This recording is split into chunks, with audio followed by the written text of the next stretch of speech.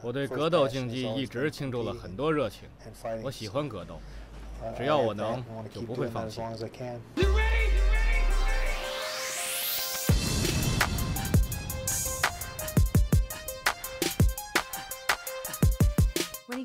当你想要认识一位格斗选手的时候，就要去了解他们的梦想来自何方，了解他们的真正自我，为什么要从事格斗事业？知道了这些，才能全面认识他们的人生。怎么样才能完成比赛夺得冠军？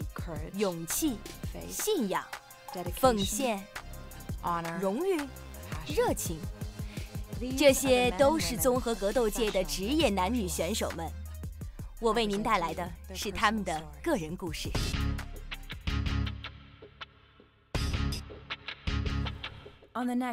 今天要为大家介绍的是兰迪·库卓。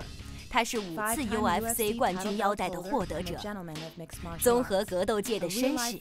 在四十四岁的时候，兰迪·库卓仍然处在事业的巅峰时期，但是已经到了面临选择的时候：是继续保持巅峰的状态，激流勇退，还是冒险出击，与俄罗斯选手菲多·埃米连科进行最终之战？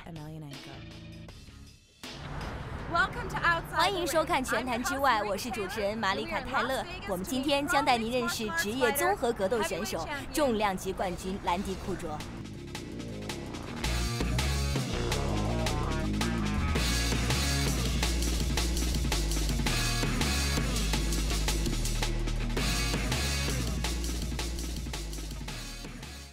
兰迪是一位令人惊叹的选手，而且有越来越年轻的感觉。他的移动、力量、技术都令人难以置信，我甚至找不到语言来形容，非常了不起。他是国家级的选手。当我十岁开始训练摔跤的时候，我的朋友们，我的哥哥们。我认为他们都是抱着一种看笑话的心态，看看我究竟能怎样。那时我第一次有了做一名摔跤选手的意识。高中毕业后，我上了大学，在那里继续我的摔跤事业。我觉得自己做得还算不错，也参加了一些个人性质的比赛。直到结婚，才开始思索将来的路要怎么走。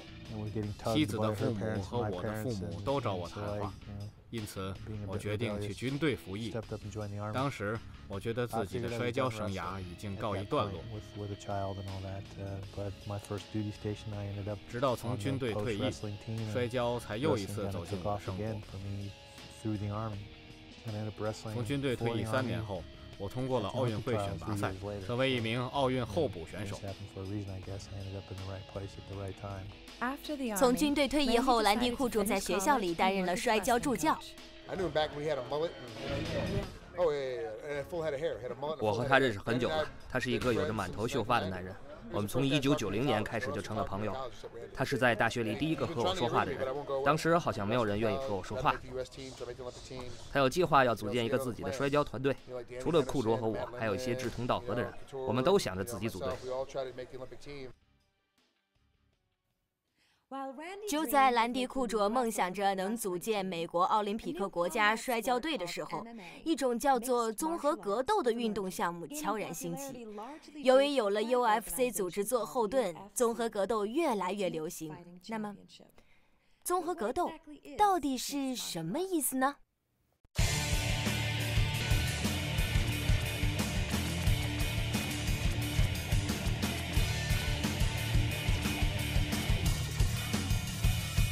综合格斗将奥运会上的格斗项目融合在了一起，包括跆拳道、拳击、现代和古典摔跤、柔道，这些所有的招数都可以在综合格斗中运用。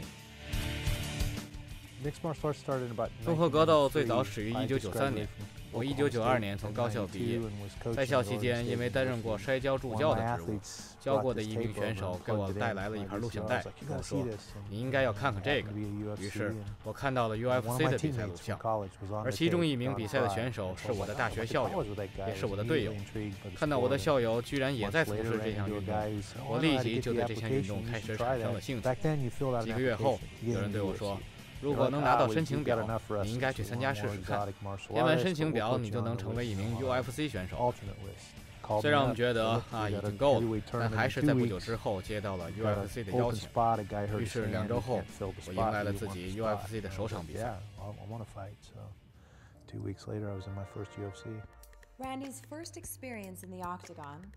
兰迪的首次 UFC 之行是 UFC 十三。当晚，他参加了两场比赛，两场全胜。之后的第二场 UFC 比赛，我的对手是维托尔·贝尔福特。他当时被称为了不起的人，能在两分钟之内完败几乎所有对手。我觉得他们安排我和韦托尔打比赛的原因是，一个世界级的摔跤选手做对手，能让大家更加相信他的实力。如果他能打败我的话，而且没有人见过他地面战的风采。虽然他是一名巴西柔术的黑带选手，但他一直以来都是靠精湛的拳击技巧来击败对手。因此，我马上开始对拳击技巧进行恶补，了解拳击的移动。我想想。做的只是能接触到他的身体，运用摔跤的技巧与他缠斗。我还意识到，因为他都是在很短的时间内击败对手获得胜利，那么比赛时间拖得越长，对我来说就越有利。于是比赛中，我尽可能与他展开近身战，用拳头击打他，最终他体力不支倒在地上，于是我赢得了比赛。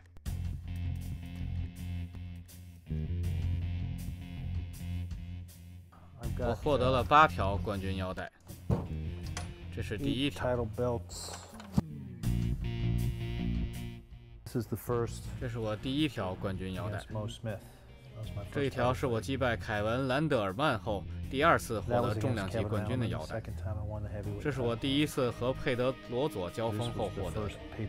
那真是我经历的最艰难的一场比赛，整整打了五个回合。三个月后。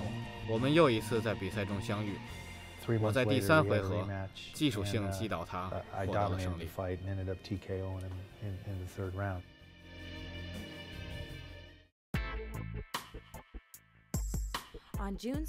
二零零三年六月六号，库卓减掉了九公斤的体重，迎来了与格斗界的超级巨星查克·利德尔的对战。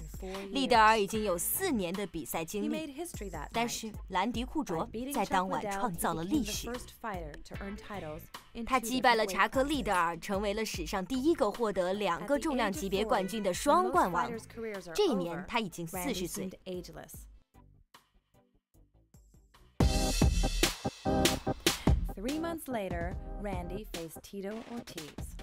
三个月后，兰迪遭遇了铁托阿尔蒂斯。铁托在这之前取得了六连胜的辉煌战绩，状态极佳。他想赢得比赛，让兰迪直接退休。但是事情往往事与愿违。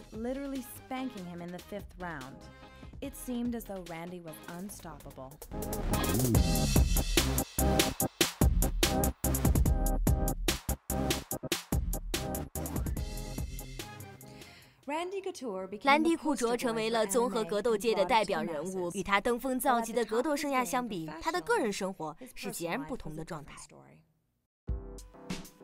我和前妻离婚，家人、朋友、生意上的伙伴、周围的所有人都觉得我可能会迷失自我，但是我只是专注于训练，让自己从那段黑暗中走出来。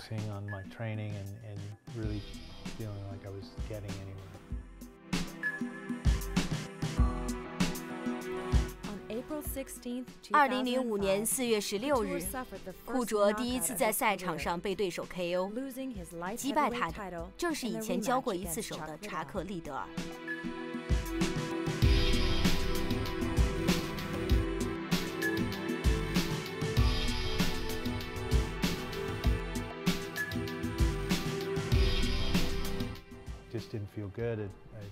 在和查克·利德尔比赛六个月前，我就决定，如果输掉这场比赛，我就退休。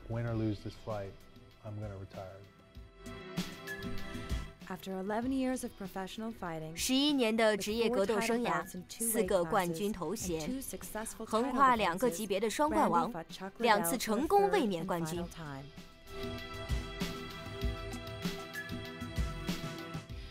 在又一次惨败给对手之后，兰迪·库卓宣布退役。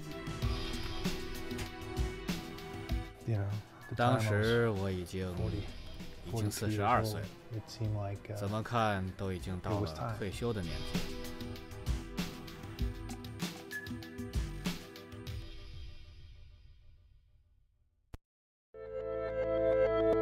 没有人能永远在赛场上长胜不败，所以当时我也感觉应该退一步。停下来歇歇。退役之后不久，我就获得了这项荣誉，能成为第四位进入 UFC 名人堂的人，这对我来说是莫大的荣耀。退役之后，在业余时间，兰迪·库卓仍然坚持训练。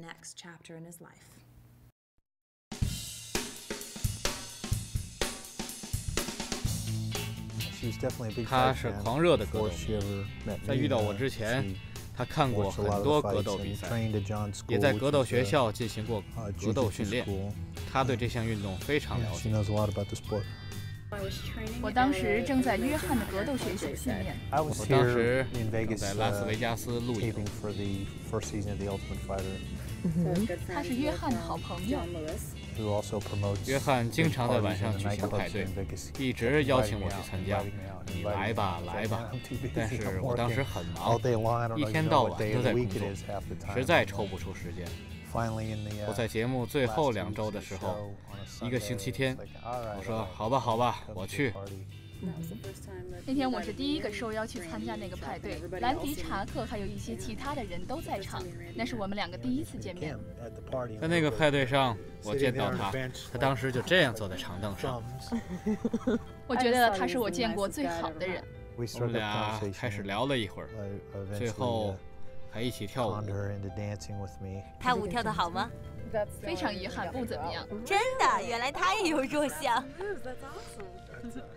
接下来在拉斯维加斯的两个星期，就觉得蓦然回首，那人就在灯火阑珊处。最后，我们就决定走到一起。是什么让你决定去挑战世界上最难战胜的选手呢？你觉得俘获女友的芳心是件难事吗？